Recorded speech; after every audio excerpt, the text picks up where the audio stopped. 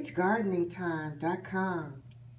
19 days ago, we sowed coneflower seeds in a pot of peat moss and topsoil. This is our first time trying to get coneflower seeds to germinate. And I am so happy to announce that we have two seedlings coming up.